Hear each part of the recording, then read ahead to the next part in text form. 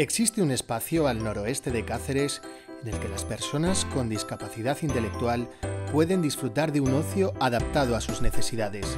Desde hace 13 años, Mensajeros de la Paz Extremadura ofrece a decenas de personas con diversas capacidades un plan diferente cada 7 días durante todo el año.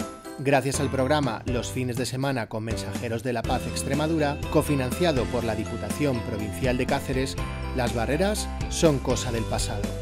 Chicos y chicas de la región han experimentado, muchos por primera vez, unos juegos acuáticos totalmente seguros en la piscina municipal de Cilleros, moverse al ritmo del mejor folk extremeño o hacer nuevos amigos en la residencia de mayores de Villas Buenas disfrutar de la espectacular naturaleza de nuestra provincia a través de excursiones y senderismo e incluso conocer el vértigo de recorrer la Sierra de Gata en un 4x4, pasear por el Chorrerón, visitar la singular localidad de Pescueza, perderse entre juegos y talleres los días de lluvia o bailar sin parar en calzadilla.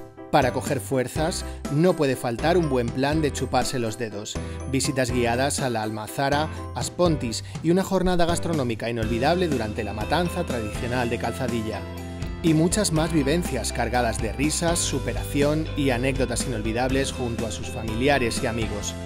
Todo ello para conseguir un triple objetivo, facilitar la participación de personas con discapacidad intelectual actividades lúdicas y culturales en las mismas condiciones que el resto de ciudadanos, fomentar su convivencia con otros colectivos para fomentar y normalizar sus relaciones y proporcionar unas horas de descanso a sus cuidadores los fines de semana.